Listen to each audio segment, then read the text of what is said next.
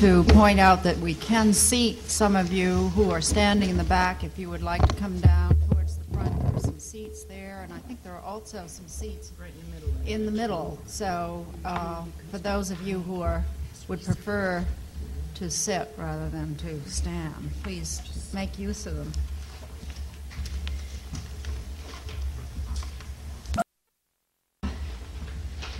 Some minutes uh, which are really not very uh, legible because of the poor copying situation, but they have been corrected, and I would entertain a motion that they be approved, copied, and sent to the board.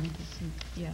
Okay, There are a few corrections that need to be made, and I, we can either do that now I or I at a later point. I have those in here, you've made them in, in my copy. Okay, I I think I've got the corrections you made in this copy I have, okay. so I- that's the one I'll go for. Um, Was there anything uh, about the content uh, that was... Mrs. Um, Madam Chairman, I think that uh, in one of the conditions, I don't remember which letter it is, it states that the road must be completed within two years.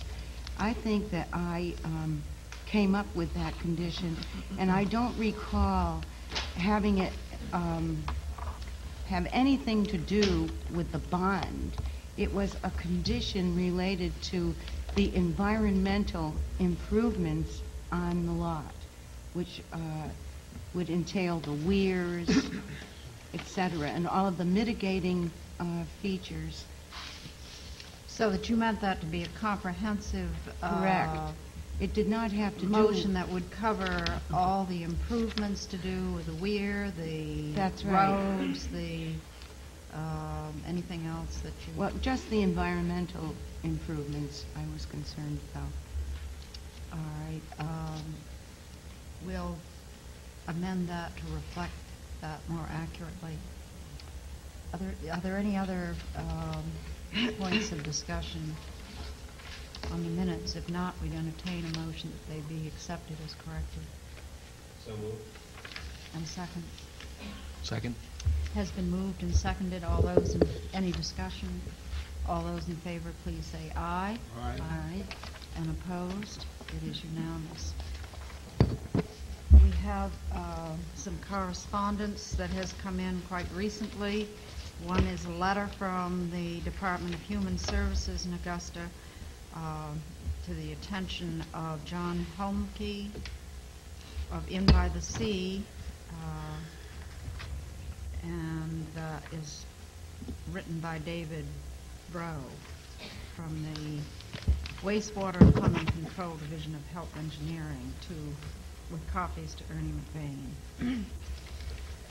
We have letters from Robert and Sharon Small concerning the Maxwell Farm Market dated December 19th.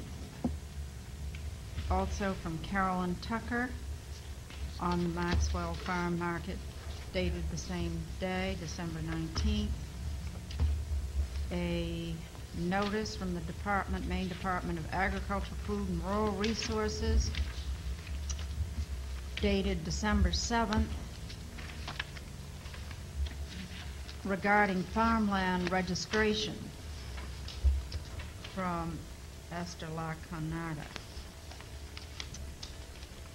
And I may have taken some liberties with pronouncing her name. Um, A letter regarding Maxwell Farms Market from Mr. and Mrs. Peter C. Murray. A letter from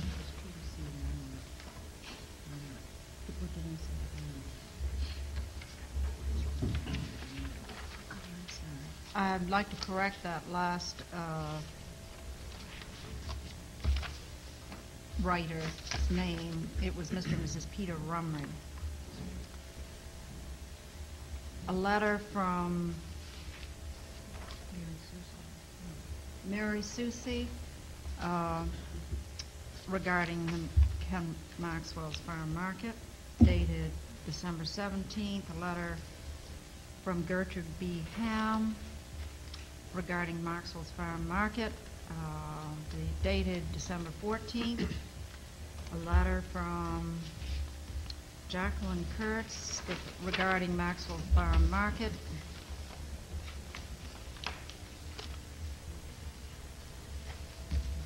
A letter from David Pickering um, of the, the chief of police to the planning board with information about the Gilbert Jor- Jordan proposal. A letter from Elizabeth Holmes concerning Ken Maxwell's Farm Market dated December 19th. A letter uh, from Clifford Barker dated December 17th regarding Maxwell's farm market proposal. And a letter from Mr. and Mrs. Norman Namey dated the 14th of December regarding the Maxwell Farm Market. And then I regret to say that we have a letter from Gregory Cross, who is an associate member of the Planning Board, and he uh, feels that he will have to uh, discontinue his service as associate uh, member starting in March. And uh, we all regret that. He's already, in his very short time of service of only a year, contributed a great deal towards the activities of the board. he is going to be assuming a position as the executive director of Big Brothers and Big Sisters, and I believe that that requires a great deal of time in the evening, so he will be unable to serve. Is there any other correspondence to come before the board?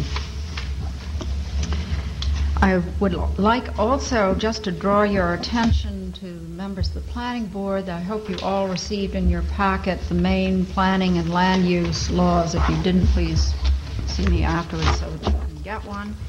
Uh, you also have uh, a report by the Harbor Advisory Committee, uh, which uh, will make nice bedside reading and interesting for our future.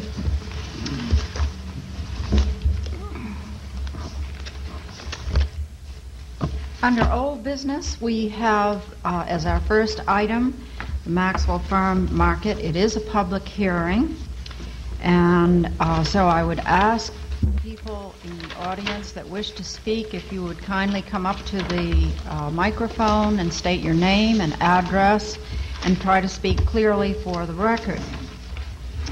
Uh, we also would like to remind you that we are delighted to hear from you, but we hope that we won't receive a lot of repetitive information. So uh, I just want to put out that word of caution. I will open the public hearing, and is there a representative of Maxwell's Farm Market that would like to come forward and make a presentation?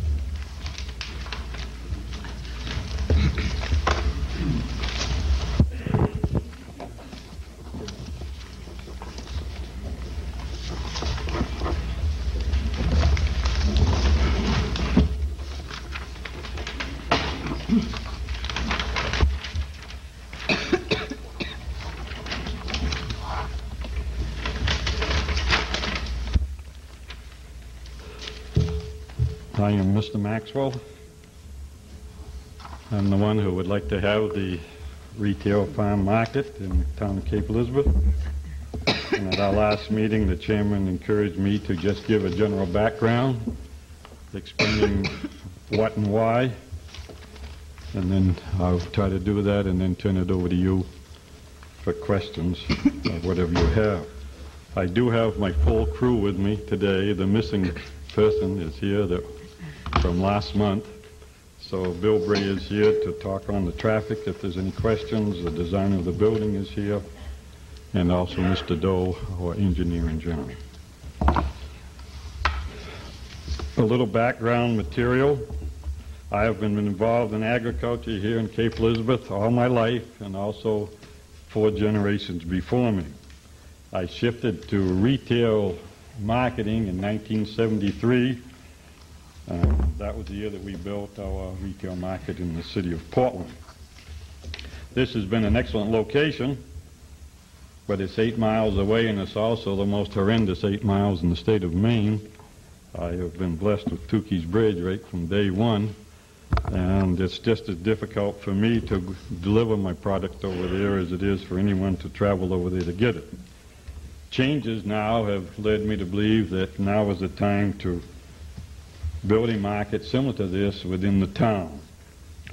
Uh, this is twofold. One is from all my neighbors who have watched the crops grow and then complained that they've got to go way over to Allen's Corner to purchase it. That was one group of reasons. The other reason is that there are many of our farm markets that have been in the area have ceased to operate, and so therefore I feel as though it's a good time for me to make this move. The chosen location on Spurwink Avenue would not only put me right next to my largest field, but is also located on or near roads that can handle whatever traffic is created. It would be very difficult to find another location as good as this one anywhere within the town of Cape Elizabeth. I say that all the time, realizing that no matter where it's located, it will impact some more than others. Okay, our building, we've got the, the picturesque drawing there, that one of our originals that still is pretty true and exact. That's, that will give you an idea of what it's to look like. It's going to be a 40 by 60 single-story building with a six-foot extension on the north end, the overhang that will be where we'll be unloading the produce and getting it into the market. It will be located 100 feet back from the road. The first floor will be a sales area, 41 by 24, 984 square feet. It will contain, also contain a cooler, storage area, preparation area, office, toilets, and those type of things. It will have a daylight basement underneath it, and this will be used for storage and other such things. This building will be heated, and we plan on it being, also being air-conditioned. The hours will be from 9 a.m. to 7, 6 or 7 p.m., depending on the day of season. It will be closed on Sunday, and it will be open from mid-May to November 30th, or sometime between Thanksgiving Day and November 30th. We will not be open during the winter, so therefore any of the slippery traveling and visibility that comes with snow will not be a problem with us, with our market. There will be no parking within 50 feet of the road. We have 31 spaces outlined. This is far more than what's required. These could be used for employees or all reserved for customers as the need may require. The entrance is one of the thoughts is going to create the most concern. Where the, the entrance is going to be right on top of the hill, it's going to be straddling the fire hydrant that is there. This was located not by myself, although it was where I dreamed of it being, but is located by Mr. Bill Bray, a certified traffic engineer. I was told that it had to be within 35 feet of the hydrant either way, or you would lose visibility. And right there, whether you're waiting to exit, or whether you're coming north on Spurwink Avenue, waiting to make a left turn, you would be in excellent visibility in all directions. The only possible other entrance would be right close to the medical building, and this would be very impractical and would still not give satisfactory sight distance. You have heard a lot about traffic.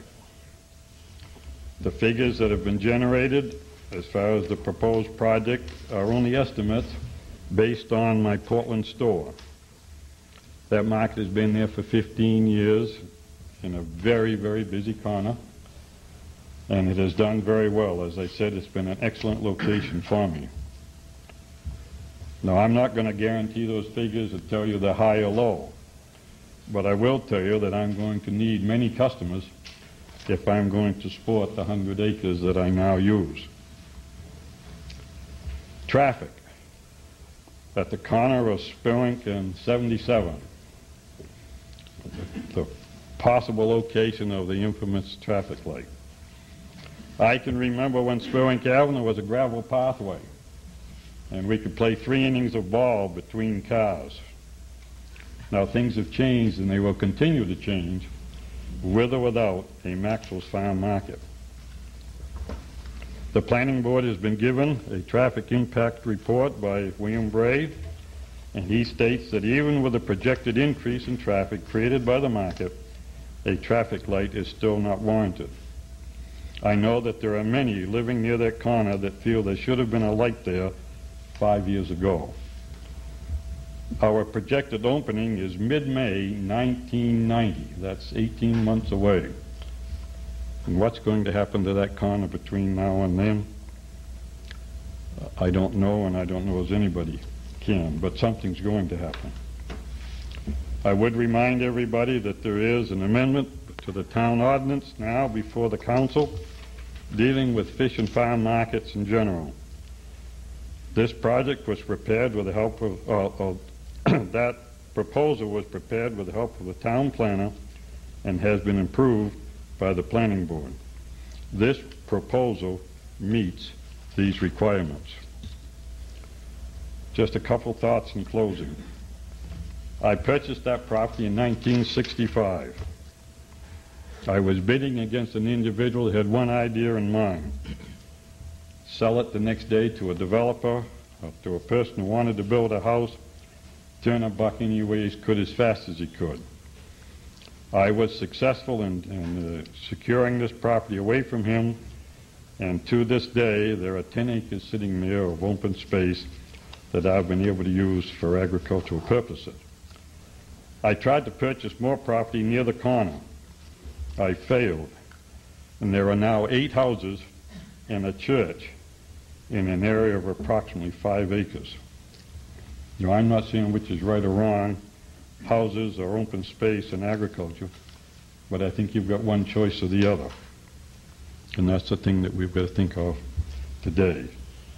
I shared with the chairman that uh, Bill, Bill, well, I guess I mentioned beforehand that I have the whole crew here, and if you have any questions or the public has any questions, we'd be glad to answer them for you.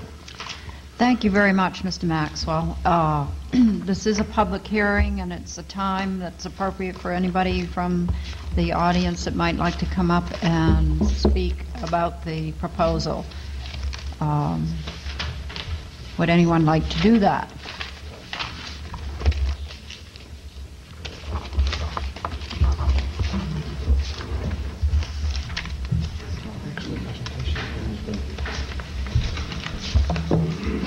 My name is Elmer Murray. I have lived in Cape Elizabeth for 63 years. My family has been here for over 150. I believe Mr. Maxwell's family has about as, been here about the same length of time. I do not know any better man than Ken Maxwell.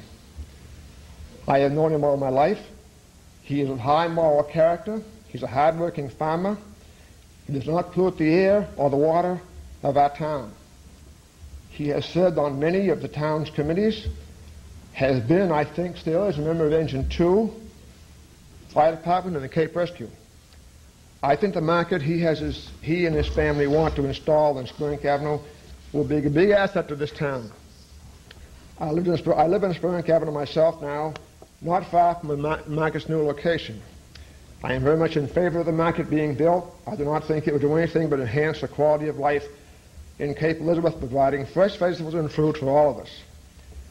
I believe traffic is not an issue, but a smokescreen thrown up by some newly arrived citizens of our town who oppose everything and anything our farmers and fishermen do in their efforts to make a living.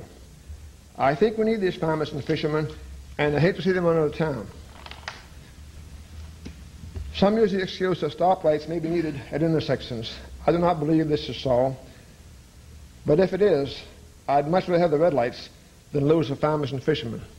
I think they're a heritage that we can't afford to lose. And I hate to see them blocked in their efforts to make a living. Thank you very much. Thank you, Mr. Murray. Um, Others that would like to speak?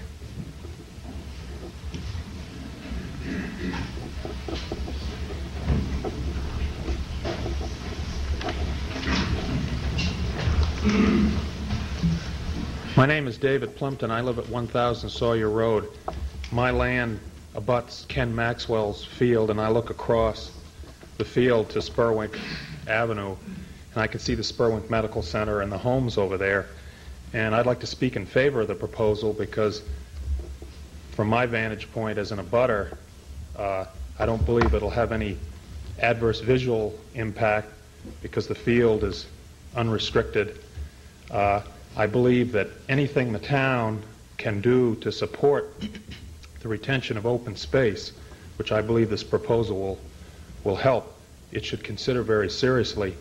Uh, I, I'm not a traffic expert, but I've got to believe that a lot of the traffic that will be coming to and from the market will probably be going through that area anyway. Certainly it'll generate some new traffic, but I don't believe that to be a major factor. And uh, I think that the proposal on its merits uh, deserves support. Thank you. Thank you, Mr. Plimpton. Anyone else from the public like to speak? Madam Chairman, Yes. Point of procedure, are you going to be going through a checklist of items in the ordinance to see if the site plan meets the criteria set forth, or could you give me an idea of how you, are going to? We uh, have already started that process. We did go through uh, a checklist, and we have more information that we want to um, find out details ab- about, such as traffic and so forth. Will you be asking those tonight? Yes, we will. I have some general comments. Yeah. Save those until after All right, might be helpful for you to hear members of the public speak and, and address those. Um, Are there any other members of the public that would like to speak? Ladies first.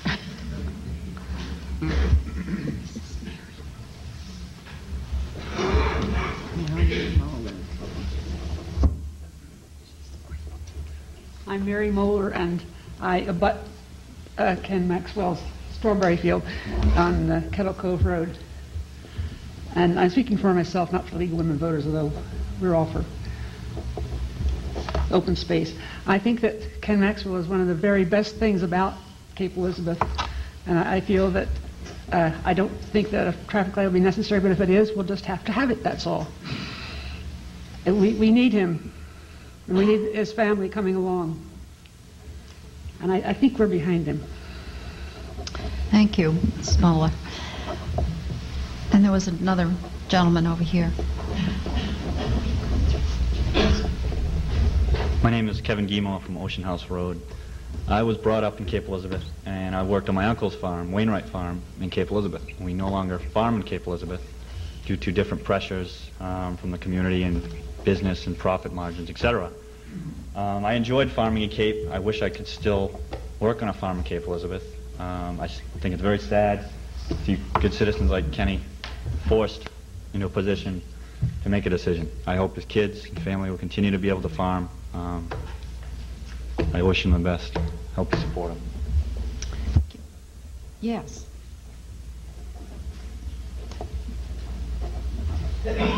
My name Kenwood Gordon, Cape Elizabeth. And I've lived on the Cape probably since 1940. I spent 29 years fishing, which is pretty similar to, to farming. There's a lot of back work and you do a lot of homework to stay on top.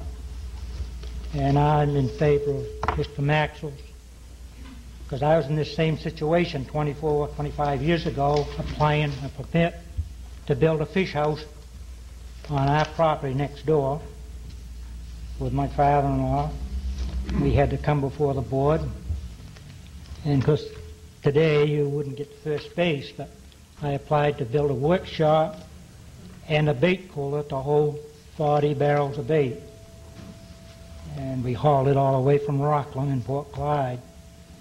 And anyway, we retailed lobsters out of it, and we had a lot of problems. Some neighbors, but some of the same ones that made the complaints, were also buying lobsters. So it worked. It all took care of after a while. But what I was getting at, that it enhanced our livelihood, and it, helped us quite a lot to stay on top and stay in the business. And naturally, he's not going to all this effort just for fun. He's trying to trying to walk a fine line to stay in the business. I'm in favor of this operation. Thank you. Thank you. Yes.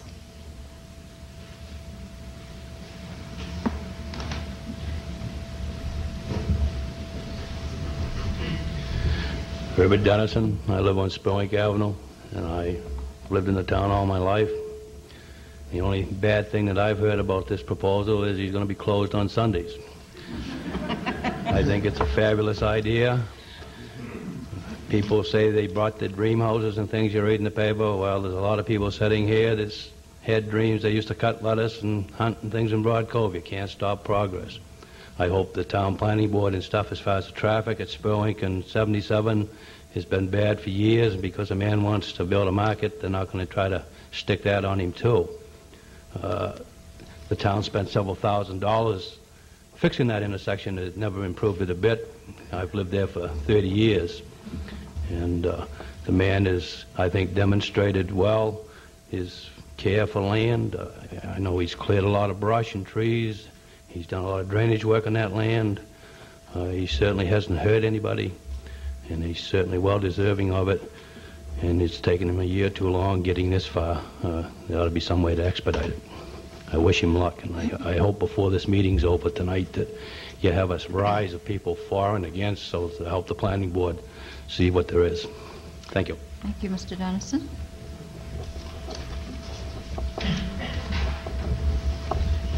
I'm Frank Camp from Spurwink Avenue, and I've known Ken for a number of years. But I want to tell you something from the bottom of my heart tonight, folks.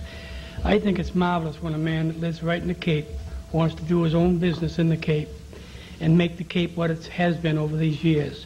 Uh, the Cape is a wonderful, wonderful place, and we're fortunate to have people like Ken Maxwell and his family continue the kind of farming that, if, as you well know, every one of us know, many farmers are going out of business. And you know, when we've got them right here in the Cape that want to stay here and stay in business, I think it's our job as, as people of, Cape Elizabeth to stand behind Ken Maxwell and every other Ken Maxwell that plans on doing the kind of things to make the Cape such a success as it has been and will be forever with people just like this. Thank you. Yep.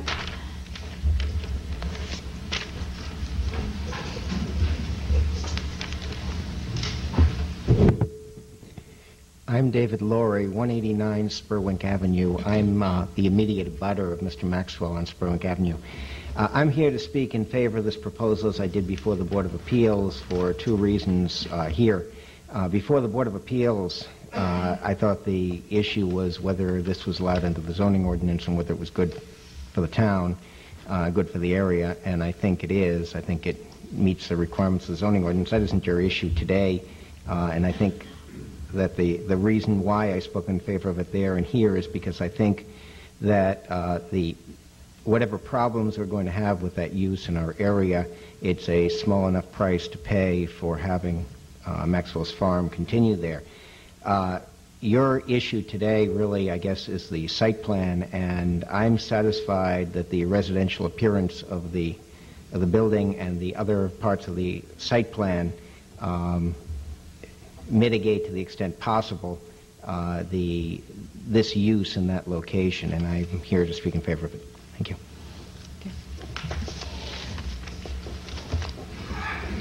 Is there anyone else who would like to speak from the public?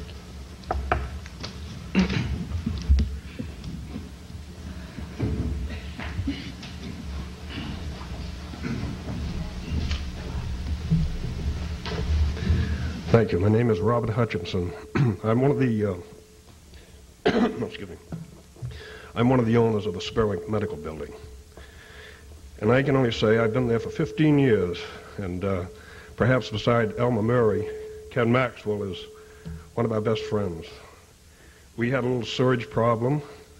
We had the choice of ripping up a whole road, and Ken comes out of his way to propose that if you'd like to have 10 feet of my property, I'll give it to you, practically. And for, for very, I mean, we remember these things. But besides that, I don't want to be redundant for time, but, but uh, it's so nice to look over a field rather than have it full of buildings and condominiums and so forth. And uh, I can only say that I sure hope that we're going to do it. Thank you. Thank you. Are there any other members from the public that would like to speak? Yes.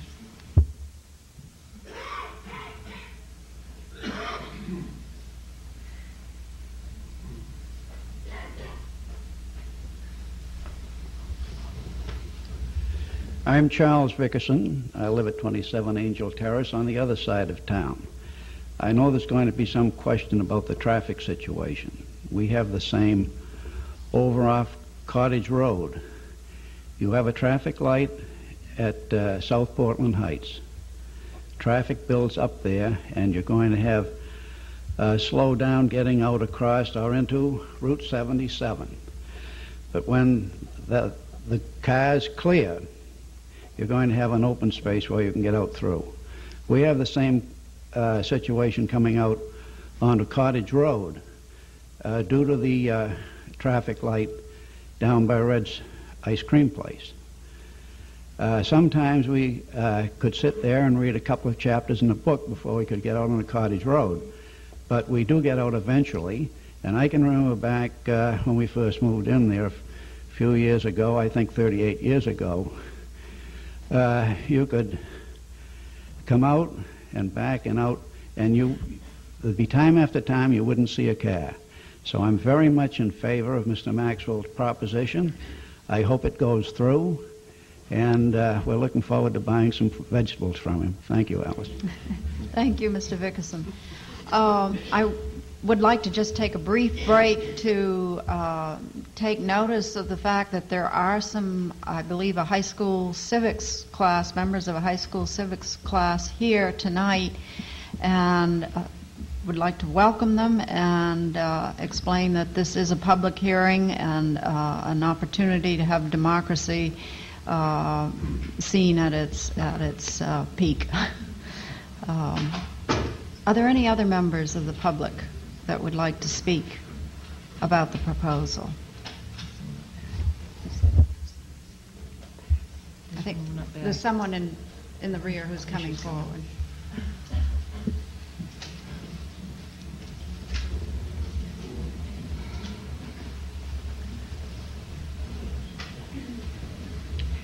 My name is Olivia Hamilton. I live on Spurwink Avenue. Our property abuts Maxwell's property. I think one of the greatest issues here, as I heard tonight, is the traffic, potential traffic pro- problem, and the site planning. I have had the opportunity to look at the building, proposed building. I think it's an extremely attractive building. Uh, set back well from the road, plenty of parking space.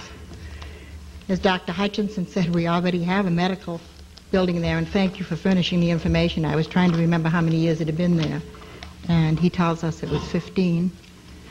That hasn't been a problem. People still moved into the neighborhood and bought houses.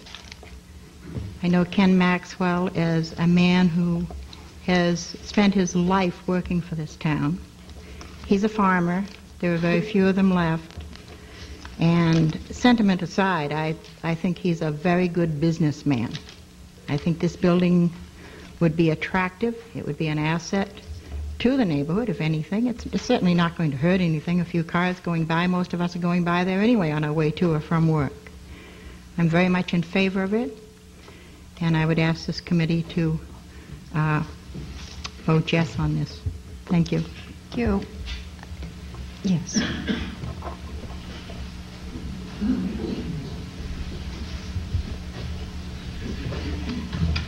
My name is Hazel Casa.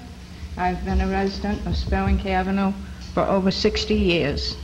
I've known the Maxwell family all those years, and I know them to be the fine people that they are. The house that we own is in the immediate area of where he wants to build, and I do not feel that it's going to be a detriment to my property and my grandchildren are the fourth generation to live in the house. And I hope this board and these people will think of what our future president said. Let us be a kinder and a gentler people, and allow the Maxwell family to have the property and the building that they deserve. Thank you. Thank you. Is there anyone else who might like to speak about the proposal?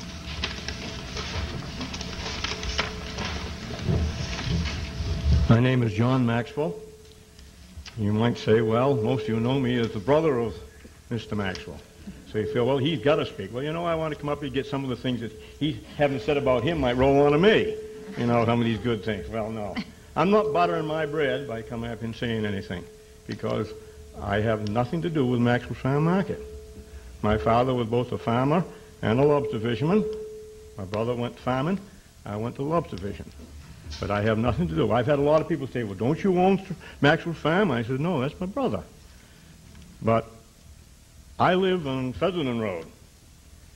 And this was a very nice, quiet neighborhood in Cape Elizabeth for a good many years. You know, it was amazing. They'd come and put a state park. And you know, it's changed. It has changed, and we've had to adopt to it. And uh, whether it's good or bad. But uh, Maxwell's Farm Market will be a lot better than a lot of condominiums. Isn't that right? And we're trying to keep open space. Cape Elizabeth. I hear it all the time. I read it in the Cape Courier. I read it in the newspapers. I hear it up here.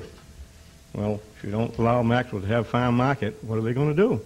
They can't make a living. So I support this Maxwell farm market. Not because I'm a Maxwell, because I think it's right. Thank you, Mr. Maxwell. Uh,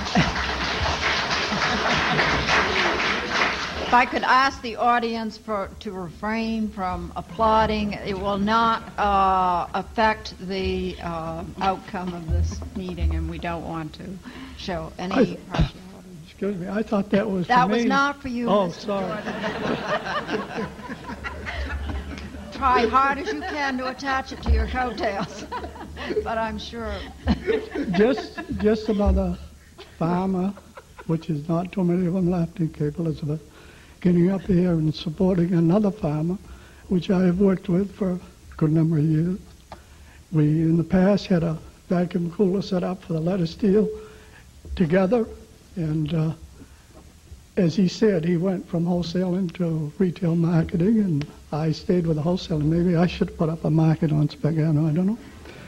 But anyway, I think it's the greatest thing, and I don't think it will hurt Cape Elizabeth one bit. And it's the best way to keep open space, is to keep the farmers going. I don't know why, but that's the best way to do it. They have a lot of money, but it's all in land. It's not in their pocket, it's in the land. And uh, I really support this deal because I feel that what he's building will sit in the neighborhood and it almost look like a house sitting there when the doors are closed and what have you. And I think he's done an excellent job in putting a scheme together to come up with a market. And he's had more patience than I would and ever would to go through this process to get this this far. And I hope tonight that you'll support it. Thank you, Councilor Jordan. Um, Are there any other people who might like to make a comment?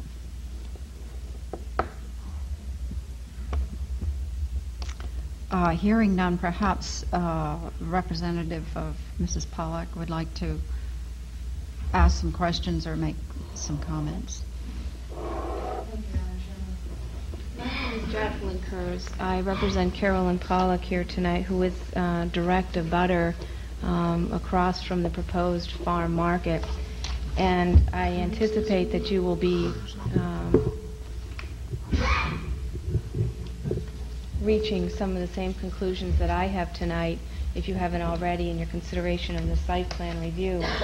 And one of those is that in the report of uh, T.Y. Lin International of October 12, 1988, uh, one of the concerns uh, in that report addressed to Mr. Daigle is that the uh, internal traffic movement was not adequate to handle the SU uh, vehicle, which I understand is uh, a large tractor trailer of sorts that is the type of vehicle that is expected to be taking produce to and from the market. Um, so I'm, I do not see that that's been resolved, and I, if I'm incorrect in that assumption, uh, the board would wish to correct me. Um, No, I think you're right. An- Another small detail, um, but nonetheless one that's required in the ordinance, is that the traffic patterns are not depicted on the site plan. Have not had a great opportunity to review the site plan and in my difficulty to obtain a copy of it, but in, in looking at what's been presented here tonight, I do not see the flow of traffic um, that is required in your ordinance um, for, for this market. Uh, So I, again, think it's deficient in that respect. Could we speak into the uh, mic so the audience can... Surely. Uh, With respect to landscaping, uh, there is a report from Sebago Techniques that a two to three foot vegetative uh, screening uh, will be uh, planted along Spurwink Avenue. And I see that your ordinance requires anytime a commercial property abuts a residential district, um, at least a five-foot vegetative screen. And again, i- it's a minor detail, but it's something that I don't think it's been addressed adequately here. In addition to the setback requirements of uh, 100 feet that Mr. Maxwell says that his farm market meets, the board also has the option of in- uh, requiring an additional 25-foot buffer area. And I would make the recommendation that that be included in this.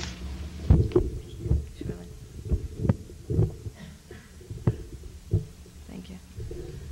Um, That it is the board's option to uh, require an additional buffer strip in addition to the setback requirements. And where there is no natural buffer um, in existence along Spurwink Avenue to shield this um, new market, um, I would strongly urge the board to require an additional buffer area of- of the 25 feet, uh, in addition to the setback requirement of 100 feet, uh, which which is mandatory according to the ordinance.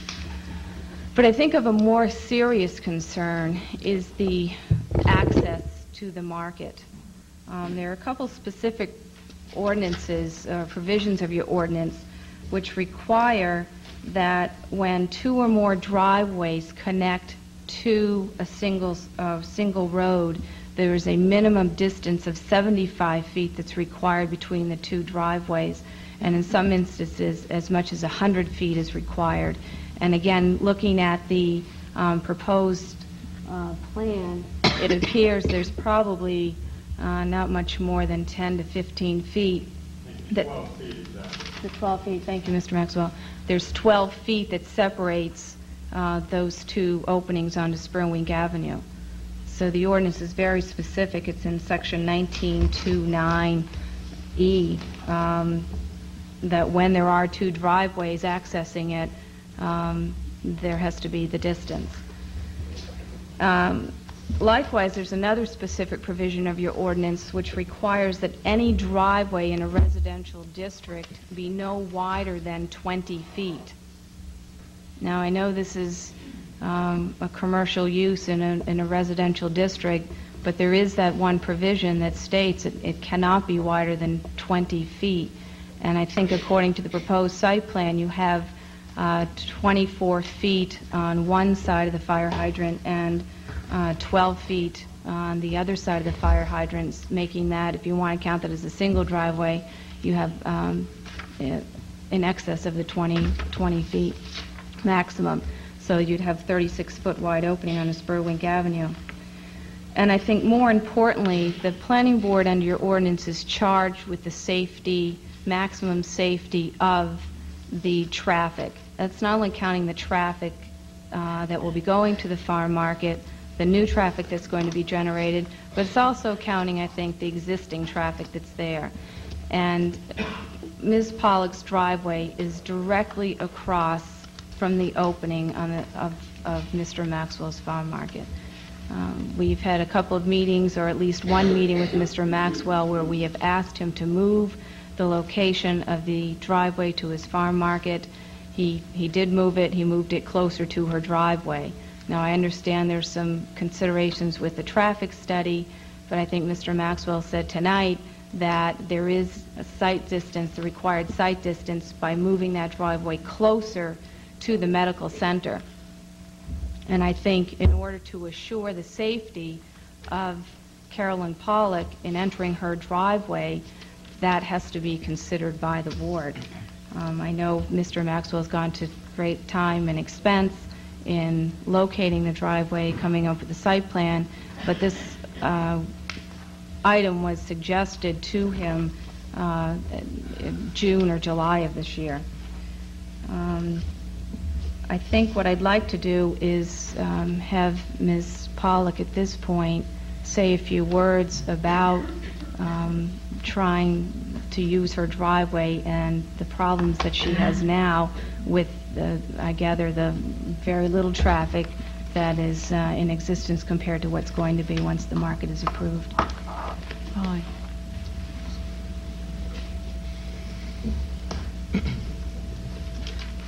Um, I'm Carolyn Pollock, and I live at 93A Spurwink. And my biggest concern about all this is the fact that my only road frontage is my driveway. I've got roughly 12, 15 feet of the street, and that is it. I cannot move it. As it is, there's a hill on either side of my driveway where I really have to be in the road before I can tell if there are cars coming either way. And if there are roughly 700 cars a day coming at me from directly across the street, it will make it almost impossible for me to get in and out of my driveway. There's no shoulder on that side of the road. If a truck were to try and pull out, it's going to take down my mailbox or the hill. There's no room for air on my side of the street.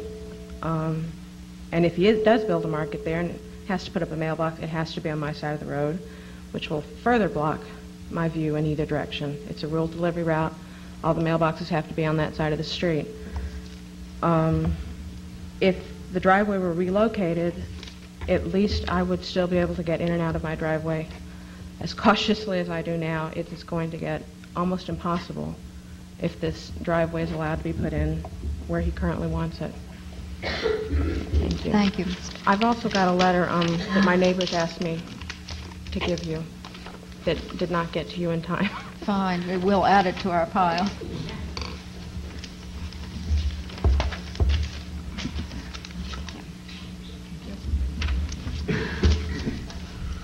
Other, yes, any more comments from the audience? Yes, certainly can. Would you identify yourself and, and uh, come forward and ask the question? I would like to ask this lady, if I heard correctly about trailer trucks, Mr. Daigle saying the road wasn't accessible, it wasn't practical for them. Did I hear you say that, or was I wrong? I was simply raising the same issue that was addressed to Mr. Daigle in his report. I understand the town had asked the TY Lin International to review the existing site plan. Something I'm wondering if the board's satisfied with this. Okay, I just understood you to say that Mr. Daigle was saying as far as trailer trucks and things, and I just wanted to point out to the planning board, the town's been ta- hauling their trash trailer over this road for quite a number of years with no problem. Wouldn't weigh a lot more as far as weight, road damages, and etc. And I really repeat my earlier statement. I hope that this planning board's not going to joggle things around and cause Mr. Maxwell, after all these plans and things, moving his driveway and stuff, I think is irrelevant. The lady knew her property when she bought it. I knew mine. I've got houses around it, and et cetera. And I think it's time. The man's had a year of frustrations, as Mr. Jordan said, and uh, undue, unnecessary costs and harassment. And it's time that the planning board address them. She wants to sue the town, let her sue us. She's suing herself, too. I- I've heard that's in court. Let her go for it. Well, thank you, Mr. Dennison. Uh, Are there any other uh, comments uh, from members of the audience? Yes. John Baggs at 9 Winslow Place. And I, I'm not against the market, but I'm against the location of the driveway. I have to go out of Miss Pollock's driveway quite often as a businesses that I, work that I do for her and also as a friend. We are acquaintances, and so we're in and out quite a bit. And what she stated was correct. It's very difficult to get out of that driveway. As you are trying to exit going north, you have the slight curve in the hill, and you really cannot see oncoming traffic until you actually are into the road itself. And I just like to support the movement of the driveway. That's, I think that's all that she's asking, and I would like the board to consider the movement of that driveway. Thank you. Thank you. Any other comments or questions? Yes.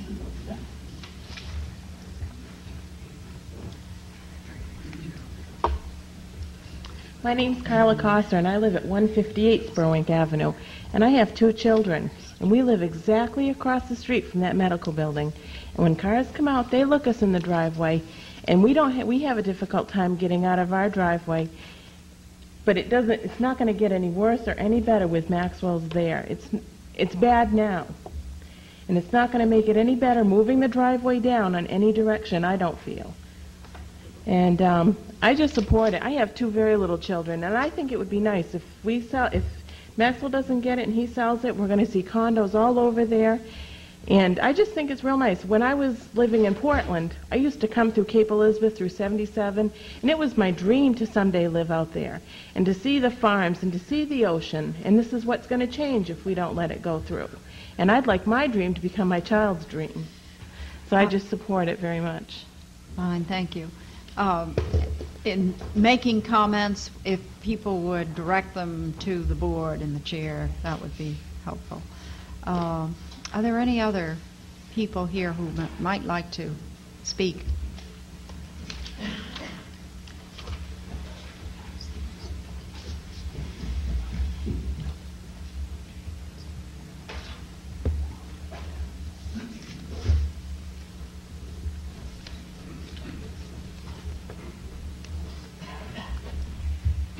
I'm Edmund Capano, and I live on the other end of Spurwink Avenue. I've lived on Spurwink Avenue now for about 25 years.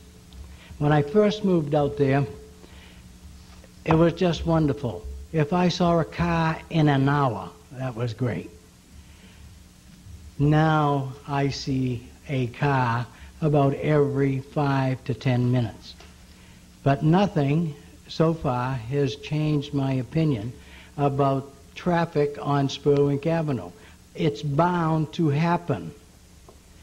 And if you're concerned about backing out of your driveway, which you should be, caution is the word. I have a little problem in my driveway backing out, and all I have across the street is woods. So I do not feel that in this case it's going to be a mitigating circumstance. I don't know if you people ever purchase goods from gutters at Higgins Beach or Pleasant Hill. Now, Higgins Beach is where I do all my purchasing of food produce. If Ken gets here, that's going to solve my problem. I'll be here in Cape Elizabeth, where I belong. But on that road, it's unbelievable the amount of traffic. And I have not once had a problem moving from about 10 feet into the area where Gutter's produce stand is onto the road and back home. So I, I really think that if we exercise good judgment, caution, with the understanding that there is going to be traffic, I think everything will work out fine. I'm in high, highly in favor of Ken getting this beautiful structure up there because I do want to see as much of the open space as possible. I am a little bit concerned about one comment that I believe related to the shrubbery, and I would like to have it clarified. The shrubbery, the, the screen that will be placed around the building. I got an impression that there was going to be a screen on the side of the road.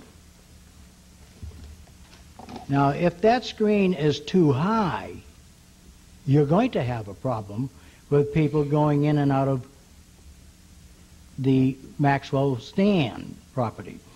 But if it, I think a three-foot screen is not an unreasonable one in this regard.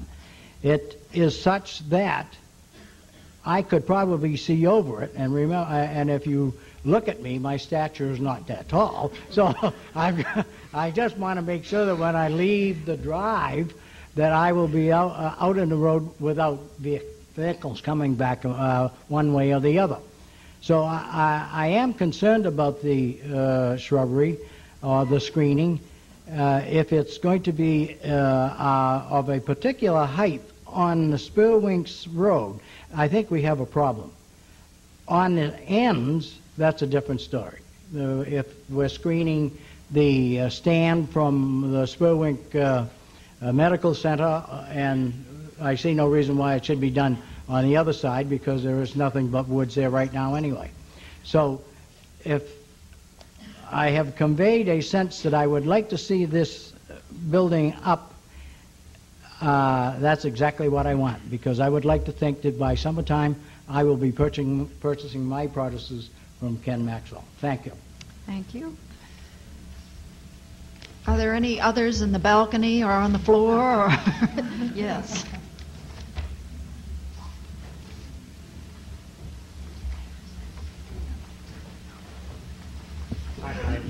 I'm John Malley. I'm a resident of Cape Elizabeth, and uh, I'm here to speak in support of Ken Maxwell's uh, new enterprise down there on Spurwink Avenue. I spent my whole life working with the farmers of Maine, from Aroostook County to Calais to Kittery, and I met Ken when I first was transferred here to head up the soil and water conservation program here in Cumberland County, and he's an outstanding farmer. He has been for many, many years. He has a sign in his Eh, in his on his farm down there that was presented to him by the Soil and Water Conservation District for outstanding accomplishments in the field of soil and water conservation on his farm. It truly is a landmark of all the things you should do with farmland if you're going to continue to farm it and perpetuate its existence. And I think Cape Elizabeth is indeed fortunate to have a man of his caliber farming in this community. And if you think they're getting scarce, you just take a ride to Aroostook County. When I was up there, there was 4,000 farmers, and today the number is somewhere in the 800s. And it's sad to see people, you know, have to give up a way of life that they all truly love uh, because, in the bottom line, they just can't make it in this day and age. And I think anything we can do as a community here to perpetuate an operation like the Maxwells, we ought to lean over backwards. And I urge the board to give serious consideration to approving this, this uh, site plan. Thank you. Thank you, Mr. Malley. Um, Are there any others from the audience that might like to speak? Yes. I think it's a credit to Mr. Maxwell that so many have turned out in his behalf tonight. However, I think what the issue here tonight is that the site plan that he has proposed for his farm market meet the ordinance of the town of Cape Elizabeth. And these are not items that we are coming up with tonight, um, such as buffering and the landscaping and the driveway access to hinder him. Those ordinances are on your books for the protections of all the citizens of the town.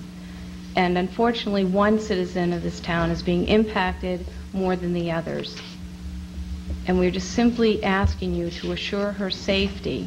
She chose to live in this town. She liked the rural character. She would like to preserve the rural character. And it's ironic that she's trying to preserve that, and yet the increase in traffic and the talk of traffic lights are turning this more into a city than what the people here tonight would like to see. But in any event, um, she is asking that her safety be assured. And I think you have one of two ways of preserving that. One is to move the driveway, as he has it proposed, to a safer location. Or secondly, you can take down the hill, the town can take down the hill that exists on both sides of her driveway so that she can see clearly um, when she exits her driveway and, and turns into it. It's not a matter of her backing out onto Spurwink Avenue. She drives out cautiously, looks to the left and right, and it's just the hill that she cannot see. There's a curve with the hill, and if you've been on the site plan, you know what her concerns are. Um, those are, those are the concerns that we're asking you to address tonight and uh, uphold the ordinance of the town.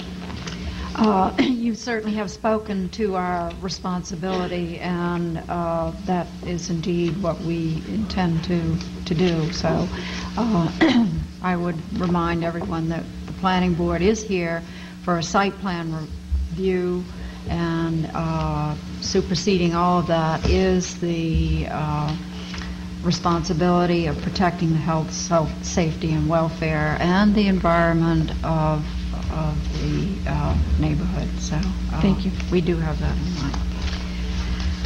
Uh, Are there any other comments from members of the public?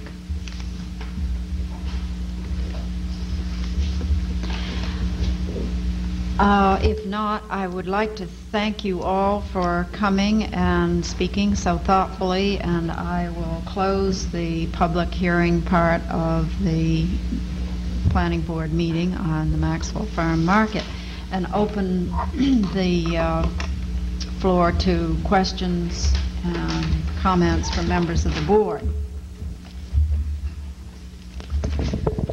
Madam Chairman, um, one of the technical issues was the driveway, and it came up in a couple of the uh, public hearing comments. And if Mr. Maxwell has Mr. Bray uh, with him this evening, perhaps Mr. Bray could address the issue of why the uh, driveways are located the way they are, and whether or not, uh, from a design standpoint, it makes more sense to have exit driveways directly across from a private driveway, or whether an offset would be more appropriate. Could Mr. Bray please respond to that?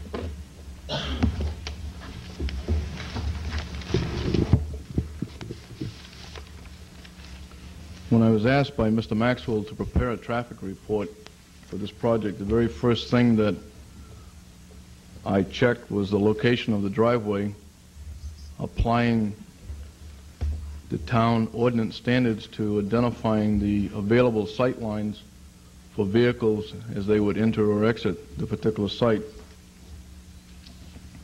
Based on the location of that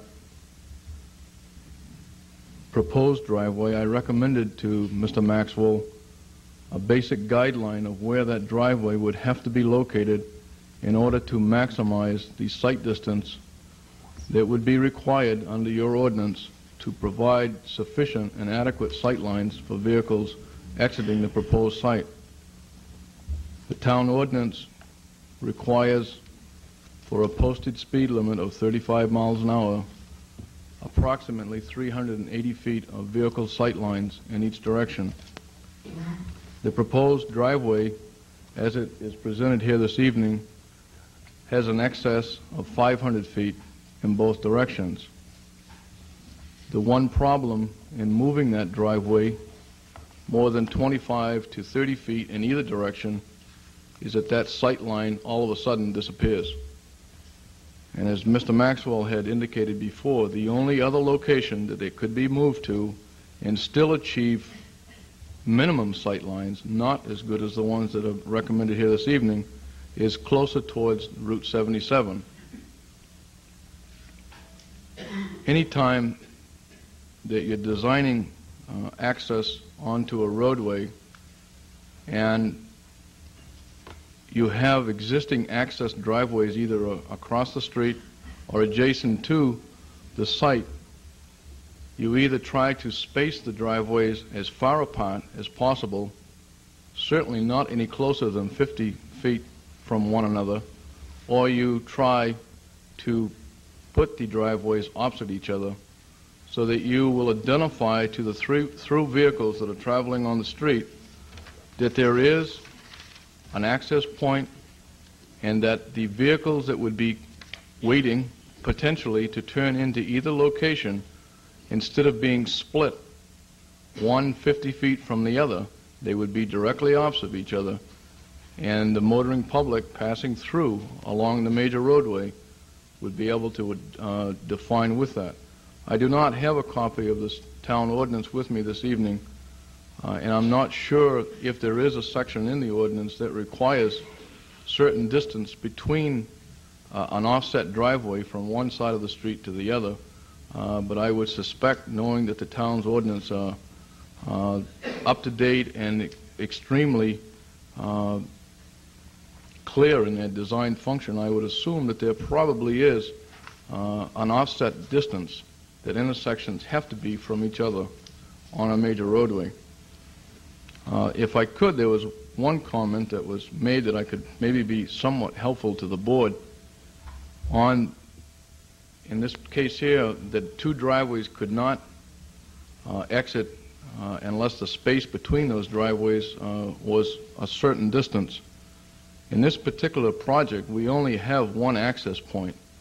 On one side of the island, you enter the site. On the other side of the island, you exit the site. So there is one driveway, not two driveways. And I think that may have been stated incorrectly before. Thank you. Looking at the driveway across from Mr. Maxwell's proposed driveway, it would be my observation that with some minor tree pruning and possibly relocation of an existing fence, that the vehicle sight lines from that driveway entering onto Spurwink Avenue could be greatly improved. Uh, I have not performed a, a, an analysis of the exact sight lines, but I'm sure examining what's there, especially during the summer months when I first observed it, observed it uh, that those improvements would uh, improve the uh, vehicle sight lines. Thank you. While you're uh, here, we may have some other questions we'd like to direct to you. I suspected that. Mrs. Guthrie. Madam Chairman, um, Mr. Bray, are you familiar with the hill about which Mrs. Pollock has spoken? I, I had to go on my own site walk there because I couldn't make the, the one that was attended by the rest of the planning board. And uh, I did notice a hill, but you know, it's difficult to know who owns that hill. I mean, is it within the town uh, right of way, or is the hill on someone else's land? I mean, there could be a problem about. I'm not sure uh, exactly the, the right of way uh, along Spurwink Avenue. I would assume that it's in the vicinity of 50 feet. Uh, typically, most of the streets in, in the state of Maine are at least a minimum of 50 feet in, in width. With that, I would assume that a portion of that embankment uh, would lie within the town right away, but there would also be a portion of it that would lie on pro uh, private property. Thank you, Mr. Bray. Don't go away. Uh, um, Madam Chairman? Yes. Uh, sorry, I have one question that, that came up earlier on the um, turning radius for an SU, what's it, um, one vehicle. Yeah. That was in the driveway, it's, it was in the parking lot itself, wasn't it? It wasn't on the street. Do you I the- personally wasn't aware of that comment. Uh, possibly either Mr. Maxwell or Mr. Doe could That, answer that is in a letter that uh, Mr. Hunter wrote to the uh, planning board, and, and uh, the way it is expressed is it says the entry-exit geometry and the internal traffic movement geometry is not adequate to handle a single-unit SU-30 vehicle. And we believe this design vehicle is appropriate for a facility of this nature. It is recommended that the site layout be modified to allow proper movement of that kind of vehicle. I guess, has that been addressed? That question, has that been addressed? Uh, we have no intention of a semi-trailer entering the, the area. Okay. Now, we cannot say that there will never be one.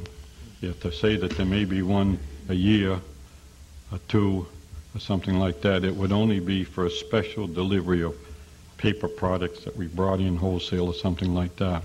This we would offload some other place or take care of it. And so this is not a supermarket type thing where all the produce is going to come in with semis. Uh, this is going to be delivered with pickup trucks and, and straight jobs, of which that area is more than sufficient to, to handle.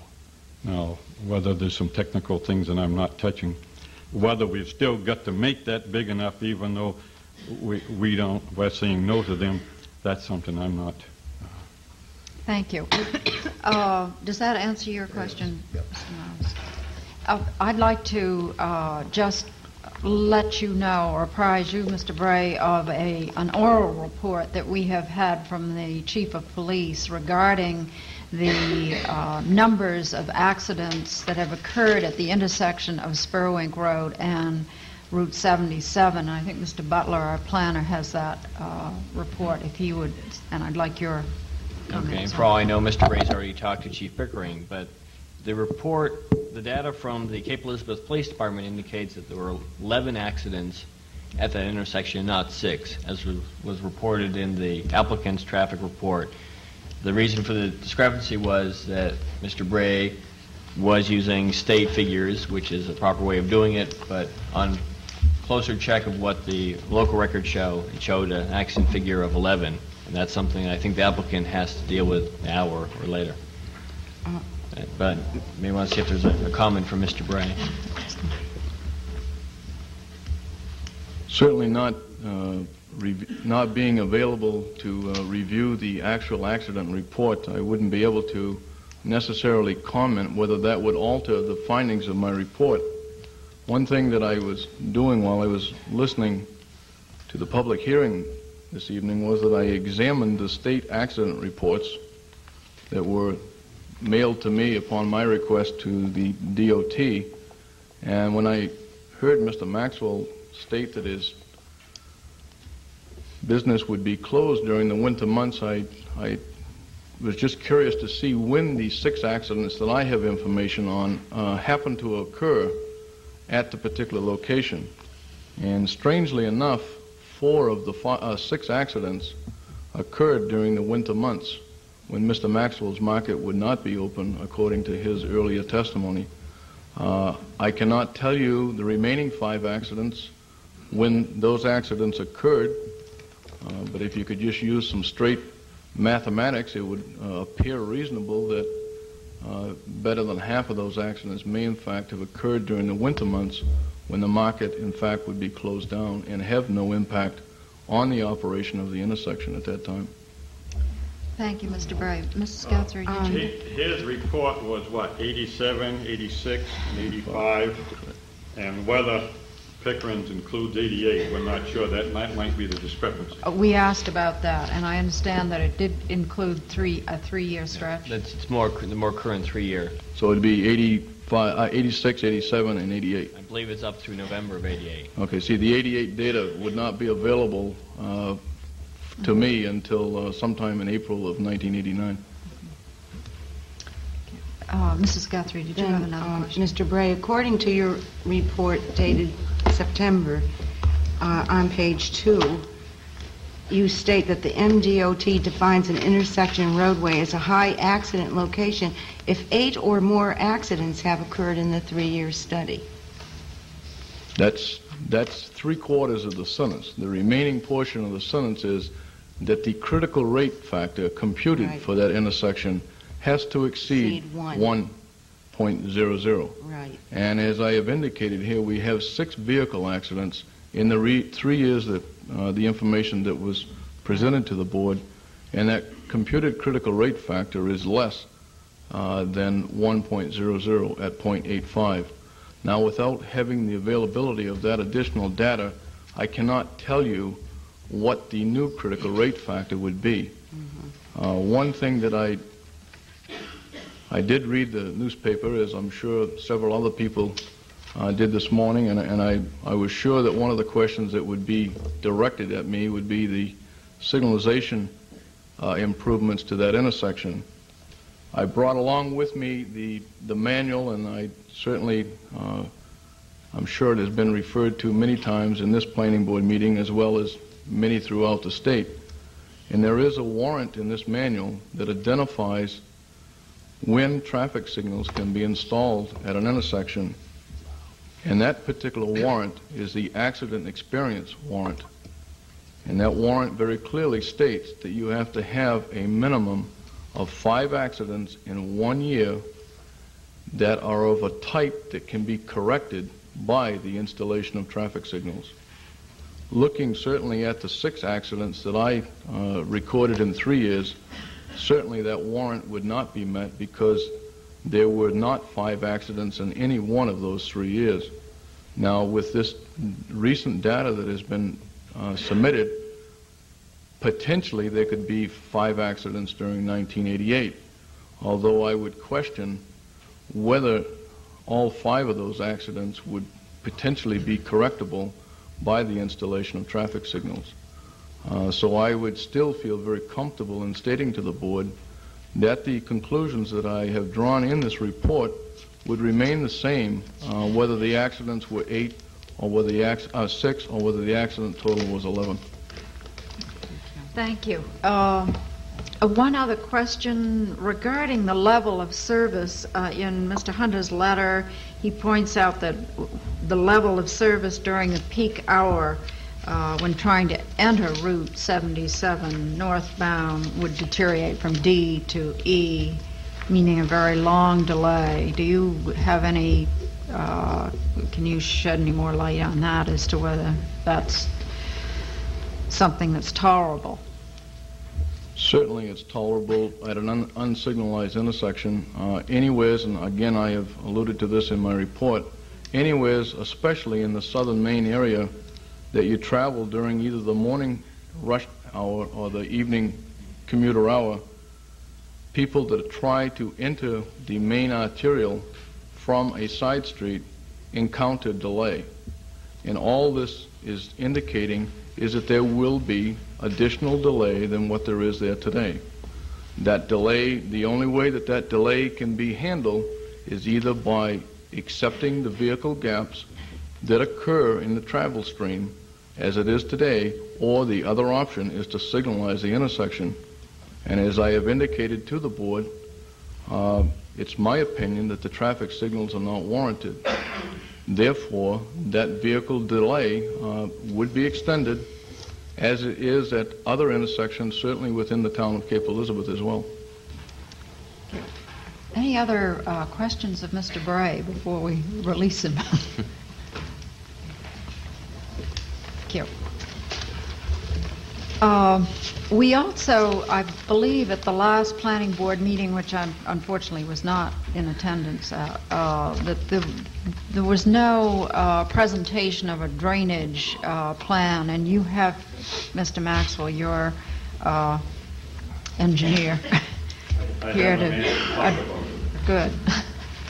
We'll be, all be traffic experts and drainage experts by the time.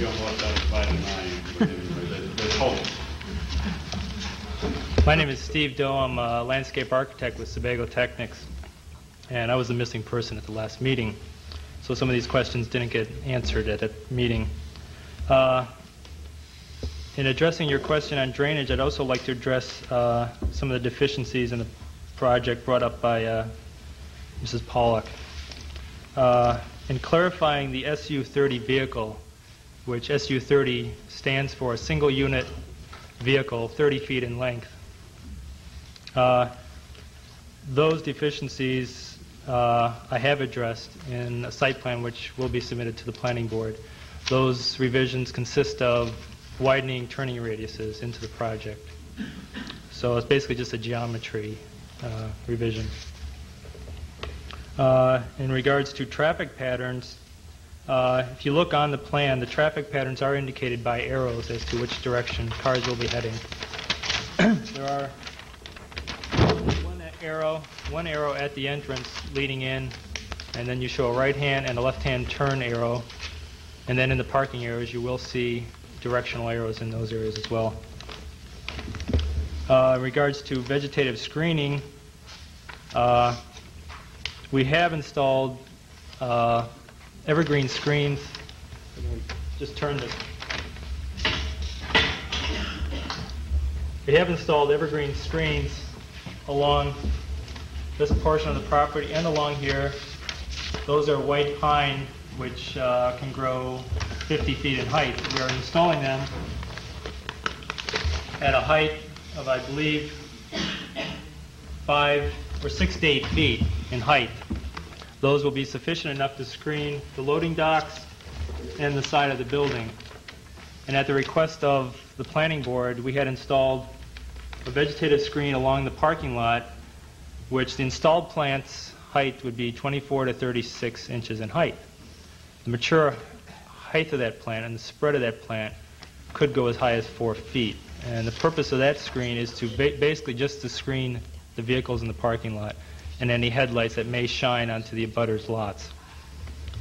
Uh, anything in excess of five feet would basically screen the building, which would be detrimental to the marketing of the, the project. Uh, also, I had talked with uh, Mr. Butler in regards to the, the width of the entrance. Uh, we had shown 24 feet on the exit. Uh, the ordinance does state it needs to be 20 feet, and on the new site plan, I will be revising that to an exit of 20 feet. Uh, in addressing the drainage, uh, our engineer, uh, Owens McCulloch, Could I ask you a question on that? Um, You're saying the exit will be revised to 20 feet. Will the entrance, the entrance is still 12 feet. so it'll be a total of 32 feet? Right. Okay, thank you. Okay. Uh, in regards to the drainage, uh, Owens McCulloch of our civil engineer with our office had contacted Hunter Ballou or Bob Hunter, and uh, his concerns, Mr. Hunter's concerns, were uh, where is the water eventually going on the site? We are proposing that all the stormwater generated by this project will go to two irrigation ponds which currently exist on the site.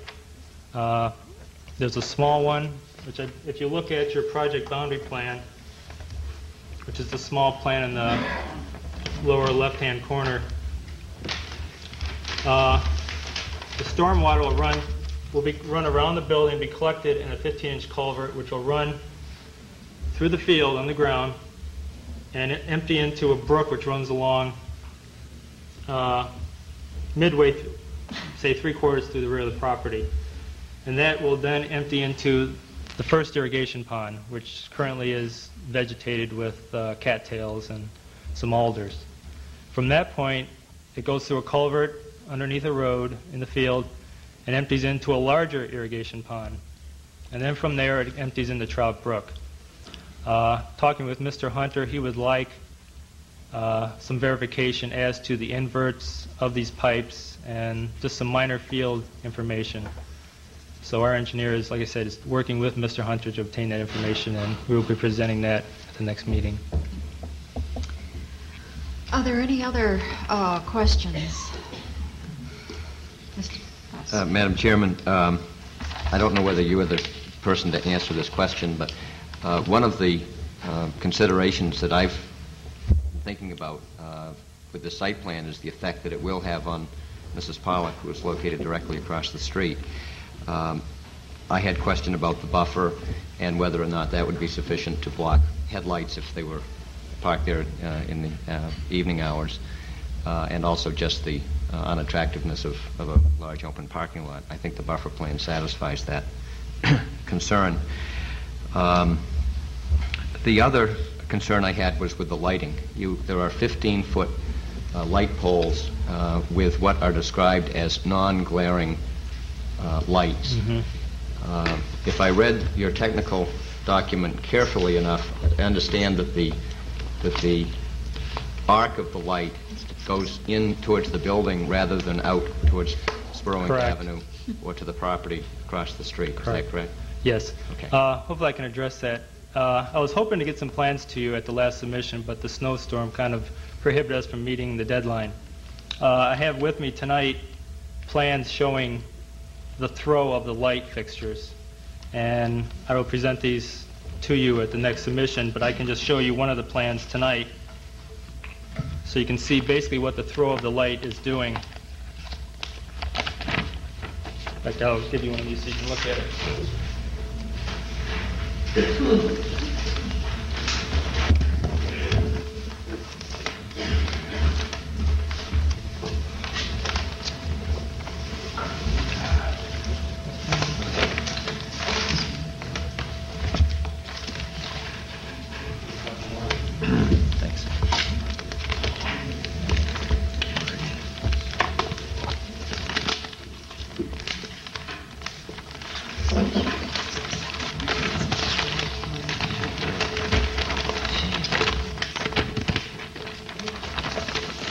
You refer to sheet two, the one that has the large squiggles in the parking lot.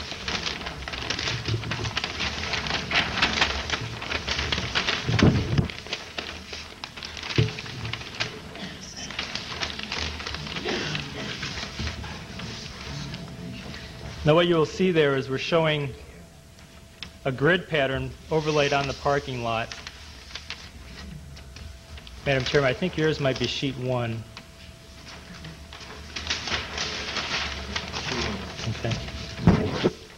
Okay, looking at, that is the throw of the light. And as you will notice, that the area of labeled G, that large uh, line, indicates uh, one foot candle, which is adequate to light a parking area. And you will see just by the formation of that line that the throw of the light is basically towards the building. There is a 10 degree tilt on the fixture which allows the light to be cast towards the building and down in the back of the fixture. I don't know if you can understand the. Does that address your question? Thank you. I would just uh, remind you that the submission date for January will be December 30th. Okay. Sort of a tight Okay. schedule, but that will be the time.